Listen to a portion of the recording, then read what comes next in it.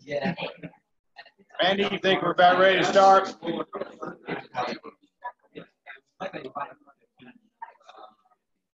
Excuse me, if I may.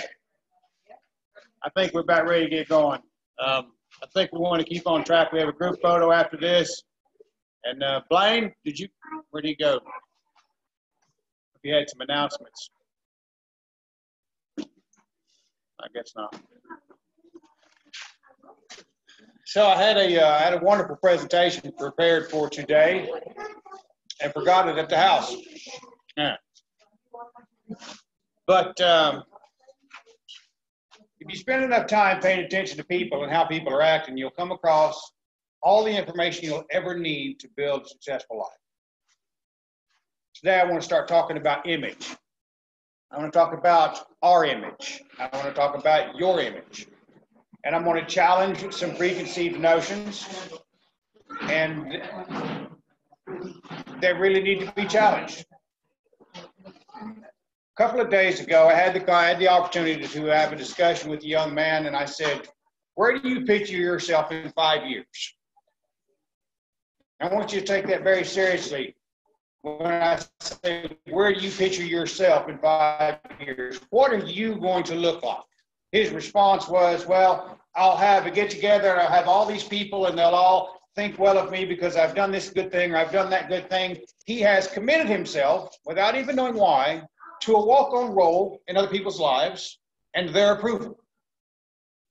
So, what kind of image do you want to have in five years? Is it one based upon the ideas that someone else holds to be true? What's that image of you look like? What do you look like? Are you fit and tall and strong? Are you a proud representative of your name, your ancestors, of who you could become? Or are you sitting there simply waiting on someone else to say, yes, you're good enough? Because that is the predominant thought process amongst most people who are searching for spirituality, who are searching for love, who are searching for financial security. Yes, you're good enough. Here's a paycheck. Yes, you're pretty enough. Let's be. A, let's have a relationship. Yes, you're spiritual enough because you've read this, that, or the other, and now we deem you to know your spirituality. All of it contingent. Your image, your well-being, your perception of yourself, contingent upon someone else. And so when he told me that, I said, "No. What do you look like?" What do you want to look like in five years' time? How are you going to make the decision about what that should look like? By reading something? By reading what someone else wrote? By reading something I wrote? Are you going to wait on how well you fit yourself into something that I've written to determine the quality of who you're going to become? What if I don't know enough to express sufficiently how great an individual you might truly be? Because that's a legitimate re- a deal. Hi. So let's start with questioning this writing. And I'm going to read to you from the Greeks. And we're going to go from the Greeks to the Egyptians, two ideas about Aryans, and then finally back here.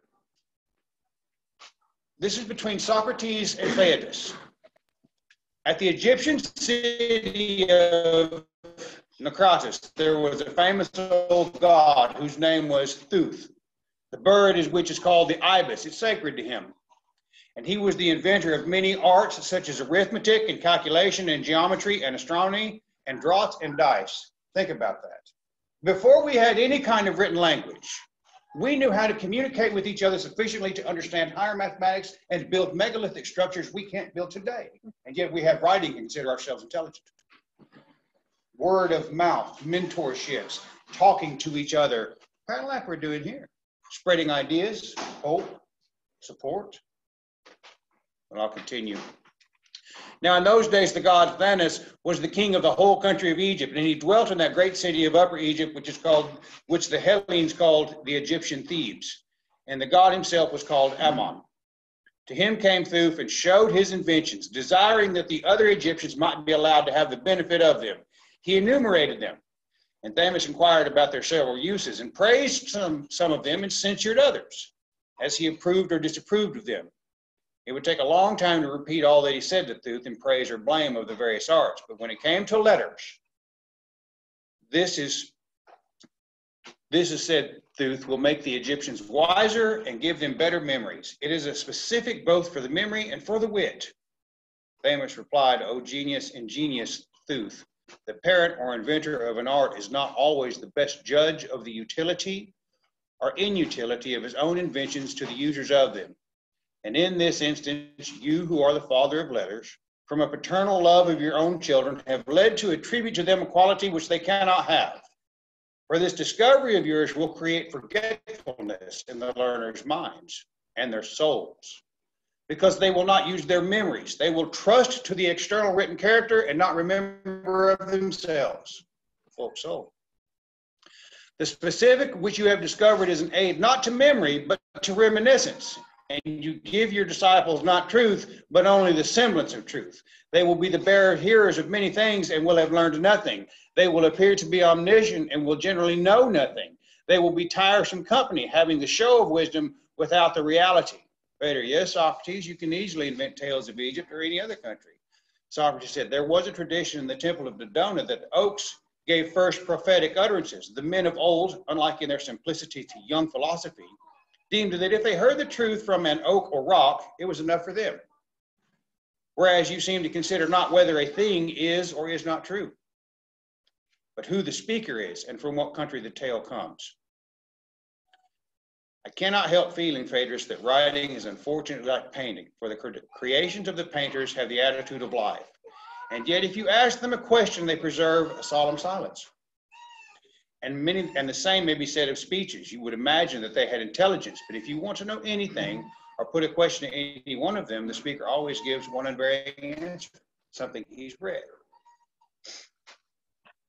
What are you reading right now to create the image of what you want to become? What does it look like?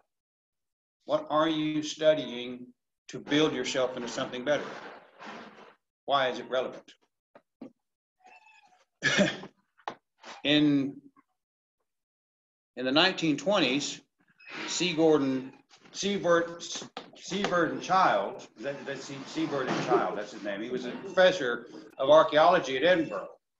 He was convinced of the prominence of the Aryan culture, how it spread across much of Asia and India and Europe, and by its predominantly successful, its strong European bloodline, it was allowed to conquer civilizations much greater than itself. This was the school of thought. This was the PC characteristic of that day, the Aryan belief.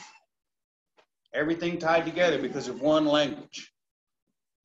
And for 70 years now, it's been taught, been told, been spread about that the Aryan idea is true. Is that what we're going to use to build ourselves into something better? Is that the thought process we need to lean on? Do we need to find a justification or an excuse in some old book for us to become something more?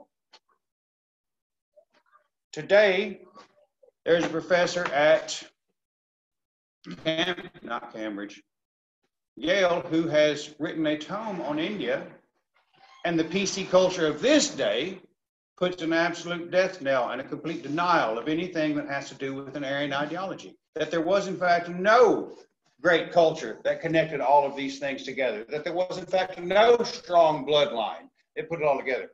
That's the PC idea of today. Which one should we buy into? Which one builds us into something better? Should we continue to believe and read these old writings? Should we listen to what Rudolph or Simic or anybody else or myself has written into a book in letters and not spread true wisdom or intelligence amongst the folk to build us into something by sitting down and sharing a meal, by shaking a hand, by giving a hug? This image that we want to cultivate of ourselves, the idea of immortality, rests not within those old dusty tomes that so many people want to spread about on social media as being true. That's not where our future lies. Our future resides right here in this room. Our future resides in a room in South Carolina or in the Odinshof or in anywhere in the country where a group of people like us want to get together and share the ideas, cultivate friendships, and rebuild a folk soul. Now, what's that supposed to look like in 10 years' time? Are we going to continue to allow others to determine the quality of what we become because of someone else's old writings? Or are we going to build an image of what we want to be? Now, how do we build an image if we can't use those old writings? Well, what the shit are we supposed to use? we have some gift, some sense of reliability. About a thousand years ago, 2,000 thousand years ago, a presiding judge of the Althing put some of these ideas in words. We call it the poetic and the prosaic. And in that outline, we find these recurring gifts from the gods. From Odin, Vili, and Ve, who walked along the shore and found two without purpose and gave them gifts of good sense, color, direction, and purpose. That's a pretty heck, that's a heck of a gift, if you ask me. Because I can walk down the street today and I can show you hundreds of homeless people walking around, shuffling along the street. Many of them look just like us that don't seem to have good sense, purpose, or direction. And they're holding up a sign saying, I need money, and they got a bachelor's degree because they know how to read and write. They're uneducated, but they have no direction. Right off the bat, I feel a tremendous sense of gratitude at what I am in a recipient of from my chosen faith, the faith that calls to me. Then we go look a little bit further and we see that in the Rigsthula, you have Rig that walks along and you can look at it generationally or you can look at it as classes. It matters not from the great grandparents to the grandparents to the parents. It might be a thousand years between each one of these visits, but each one of them has a son. And he's presented with a wife, and they sit on the edge of the bed and they build a tradition where they discuss what's going to happen she shares with him a memory drop in the exact same way Sigurd Sigrdrifa or Brunhilde shares with Sigurd. A memory drop and a well of understanding is opened up to the couple, and they have children. Those children have names that are the foundational blocks of building a civilization, right? Stumpy leg, and you know, all these other names that this first generation has. The second generation shows skill, some skill at wood carving, and that that son has a wife, and those grandchildren of that couple, well, now they're skilled craftsmen. Now they're artistsmen. Now they carve blocks. Okay, so there's a pattern emerging here. Where do we fit in that pattern? Then you get to the parents. Now we're talking about kings. Now we're talking about individuals that learn the language of the birds, just like Sigurd did after he slayed the dragon of his life. He learned the language of the birds found his partner and opened up a well of understanding.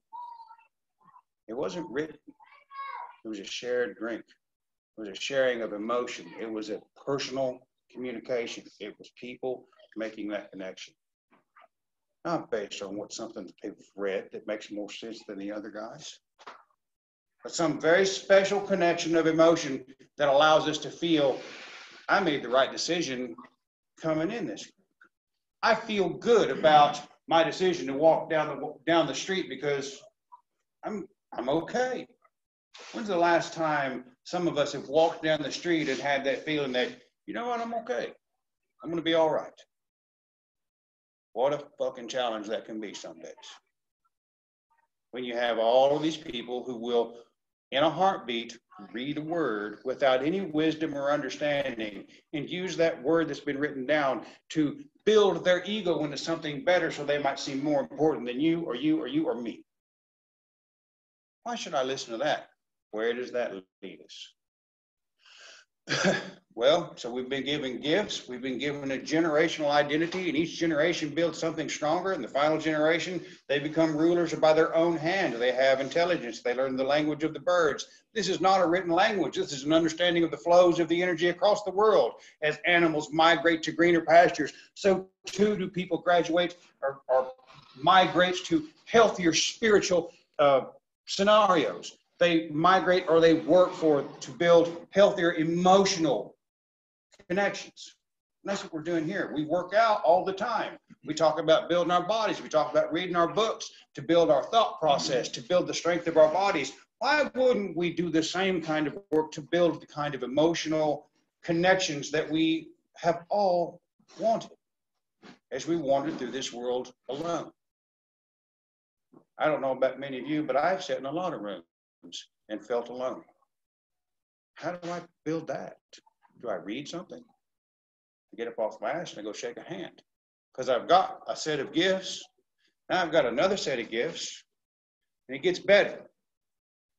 When I look at Balder, whose home and whose in whose homes were the fewest baneful rooms, and gave these excellent judgments that a man might believe in his society. His son, Forseti, settles all of these arguments in the most favorable manner that we might all rely upon something we could believe in.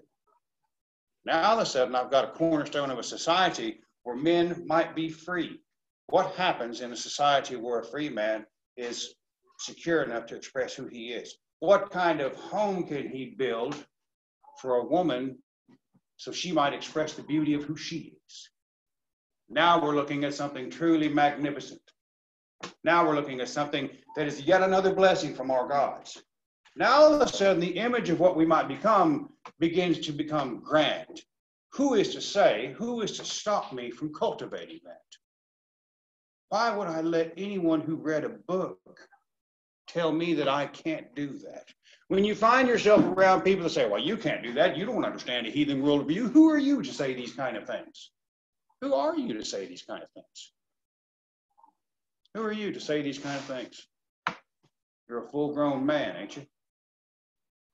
You're the inheritor of a ancestral stock that goes back thousands of generations of couples that loved each other in some manner enough to bring new life into the world, a life that was blessed.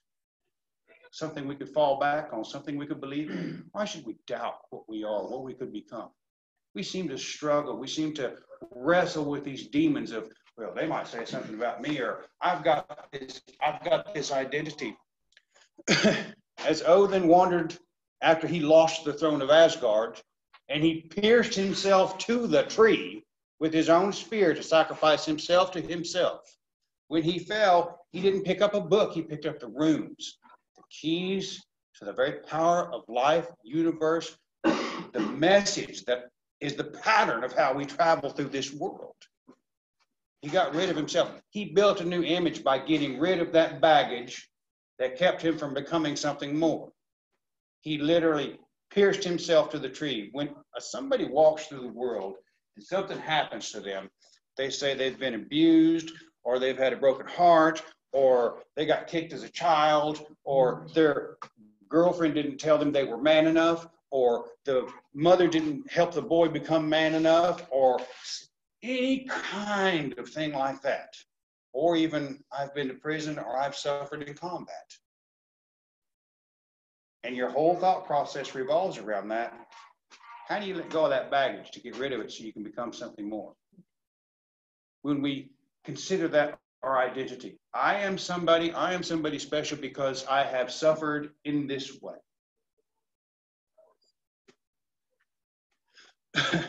predominant thought process of this victim culture that we live in encourages us to hang on to that.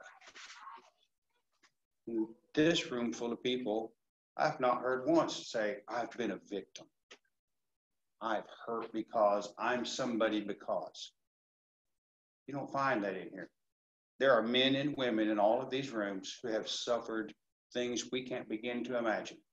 And yet they come in here to build an image of themselves. When we drive out of that driveway, we're all going to hate it. And then we'll see each other at that store down there as we buy pop and get some gas and head on out. And everybody's gonna be like, oh wow, this is all right, this is cool shit. That's the best part of it, you know. You meet somebody just like you that says, Man, I'm taking a different path. I've pierced myself to the tree. When people can't let that stuff go, and that flow of energy, that flow of when a tree grows, it gathers up all these nutrients and goes up the tree and then goes out the leaf and become something so radically different that the nutrients in the ground could could hardly imagine what it means to become a gas. It's the same thing with us. We're moving through life with this flow of energy. We got all this stuff going. We're moving forward to this. To, we go. All of us are going to that same place, folks. No matter what, we're all going to get that doorway of death, and we're all going to have to contend with that sun-facing goddess. We're all going to have to walk through that door. We can't begin to imagine what that's going to be like. Who knows? It's something so radically different. Our minds can't fathom it. Do we want to become a knot on the tree. Whenever you see a tree that gets a wound or an imperfection, it forms a big burl, it forms a knot, and all positive energy that comes out of the ground to go to the leaves stops right there. I saw a woman just before the holidays. She walked into Dollar General. Another lady behind recognized her. She didn't say hi, hello, screw off, nothing. She said, My husband died just before Christmas. And she was immediately swamped with three other ladies. Oh, you poor thing. Julian the Apostate pointed it out a thousand years ago. You have the hero that goes out in the world and strives to become something better, puts his best foot forward day after day, gets a slap in the face, gets a kick in the nuts, and keeps trying. and somebody comes out there that's sick. Well, I've got, you know, uh, I don't know what to do. I've got arthritis, and I'm kind of, and they'll get all the attention in the world. It's easy to do that. It's easy to do that with our thought process too. When we can't build ourselves, when we can't control our, you know, it's our mind. If we can't control the thoughts that go through it, we're in pretty bad shape. When we're waiting on someone else to give us permission to think the right thoughts because we've read the right book, how do we cultivate that image that we want to become? What do we want to look like? So I ask all of you, when we leave here, Think about what you want to look like. Do I want to look like something special because I am special, because I am important, because I am a powerful man? Or do I want to be something because everyone else says, well, he's pretty cool? Which one is it? Because I can assure you, one will lead you to a powerful, healthy realization to be a king in your own home, to raise children that will walk this earth proud of who they are, where they come from, and never once have a second doubt about whether or not they can or cannot do something. And the other will have you constantly languishing, wringing your hands, wondering, really like me? Nobody wants to live like that. We sacrificed the very best of who we are. When our determine the quality of our spiritual being in here, we sacrifice a lot. Our attempts to reclaim it reside most powerfully in cultivating that image of who and what we want to become in these rooms right here. Give those compliments. Shake that hand. Love these people because this is our future. This is what we're going to become. Stand up for them and don't be afraid of the recriminations of what some jackass on Facebook says. All right?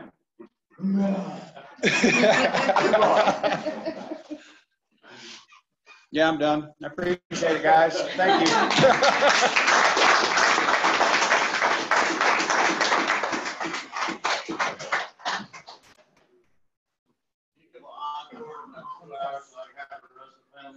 yes, I can. Matter of I can.